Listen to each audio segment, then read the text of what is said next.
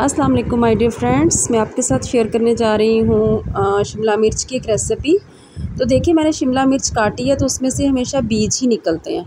लेकिन ये इसमें से निकला है शिमला मिर्च का बेबी छोटा सा, और मैं तो देख के हैरान रह गई हूँ.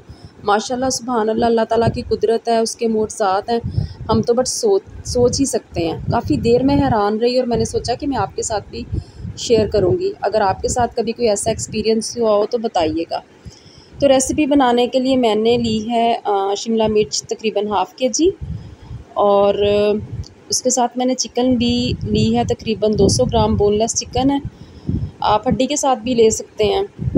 लहसुन लिया है आठ दस क्लोव हरी मिर्चें हैं, दो प्याज है हंसपे, मामूल मैंने ग्रेट कर लिया है ताकि आसानी से मसाला बन सके टाइम ज़ाया ना हो और एक टमाटर उसे काट लिया है।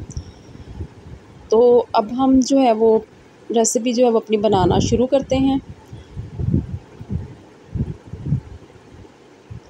मैं आपको वेट इंग्रेडिएंट्स भी बता देती हूँ। स्पाइसेस में रेड चिली पाउडर है one tablespoon half tablespoon salt हल्दी है, चाय का चम्मच और गरम मसाला।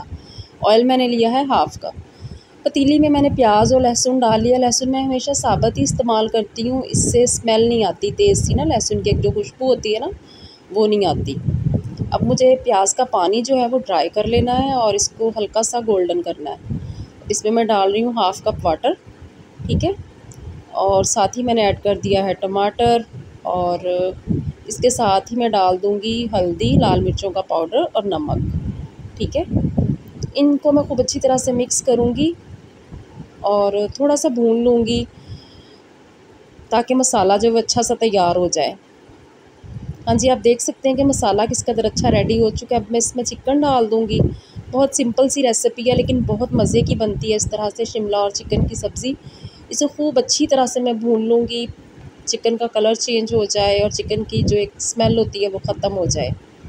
भूनती जाऊँगी भूनती जाऊँगी जब तक कि जो मसाला है, वो चिपकना शुरू ना हो जाए बोटियों के साथ, पतीली के साथ। हाँ जी, आप देख सकते हैं कि ऑयल कैसे अलग हो गया है और चिकन का कलर भी चेंज हो गया है। ऐड कर दिया मैंने शिमला मिर्च। बस इतना सा ही काम था। अब इसे मिक्स करेंगे हम मिक्स मिक्स करेंगे। और, मैं इससे कवर करके रखूँगी स्लो फ्लेम पे टेन मिनट के लिए। आफ्टर टेन मिनट देखें, शिमला मिर्च अच्छी सी सॉफ़्ट हो चुकी है और हमारा जो मज़ेदार सा अरोमा था चिकन और शिमला मिर्च का वो कैसे निकल के आया है, बहुत ही अच्छा इसका टेक्सचर बना है।